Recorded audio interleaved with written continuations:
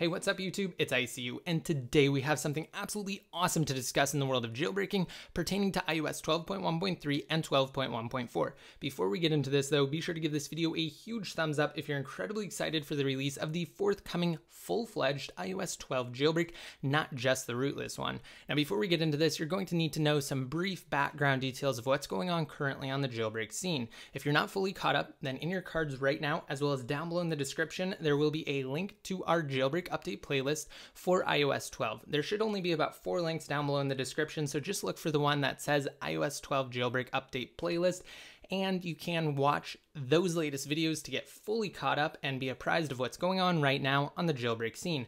But essentially, the next jailbreak will only support up to iOS 12.1.2, or at least so we thought, because iOS 12.1.3 patched the key vulnerabilities that are going to be exploited in the next jailbreak utility. However, when Apple dropped iOS 12.1.4 yesterday, they also included a really awesome surprise for us jailbreakers.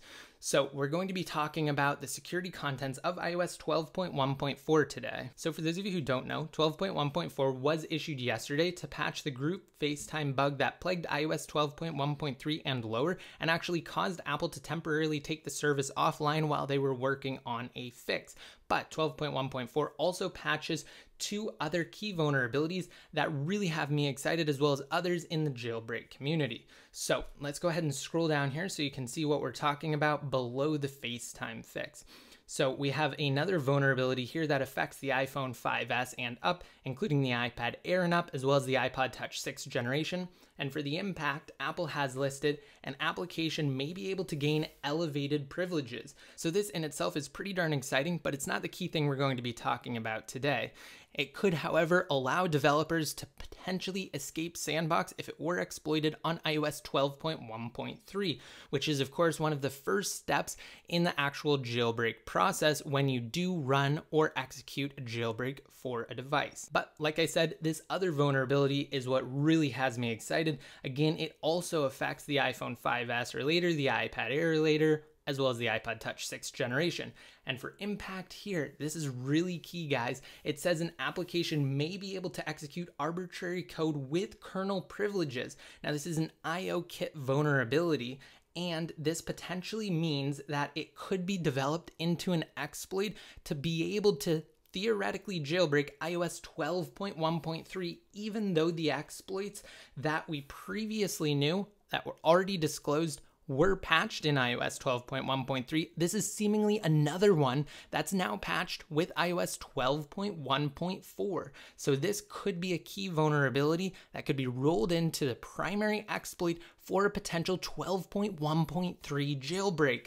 Now, before we get too crazy with the potential of this IOKit vulnerability, just note that it's always best to stay on as low of a firmware as possible. So if you're on an earlier iteration of iOS 12, that's absolutely great. You want to be on iOS 12.1.2 or earlier. And if by some chance you're on 12.1.3 or even the new 12.1.4, then you should definitely downgrade to iOS 12.1.1 Beta 3, which is still being signed as of right now. We will have a tutorial for how to do that down below in the description, but that is time sensitive. Apple will stop signing that beta firmware shortly, and it may actually lock out potential jailbreakers from being able to jailbreak because, as far as we know, the next jailbreak is only being developed for up to iOS 12.1.2. But today's news does shed some hope on the potential for an iOS 12.1.3 inclusion in that jailbreak, thanks to the closure of these two vulnerabilities in iOS 12.1.4.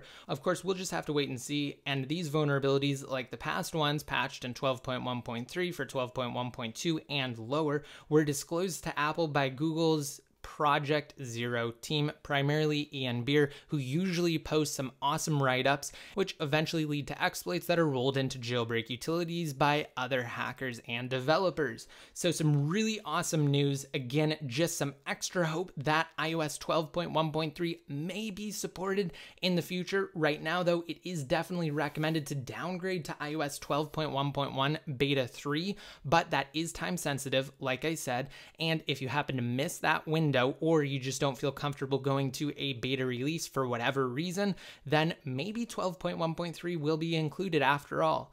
I hope you guys liked this video just letting you know exactly what's happening blow by blow on the jailbreak scene. Of course, be sure to subscribe if you have yet to. Give this video a thumbs up if you liked it and if it helped you out. And of course, stay tuned for full coverage on everything jailbreak related. We're going to have you guys covered first on the scene. And until next time, this is ICU signing out.